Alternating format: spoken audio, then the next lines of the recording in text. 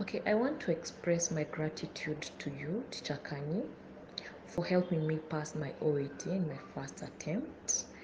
Um, I'm so excited. I'm so excited, and thank you for being flexible.